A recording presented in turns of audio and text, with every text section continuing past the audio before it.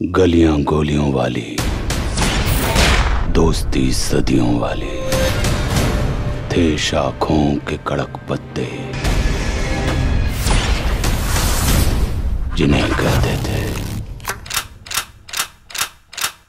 देसी कट्टे।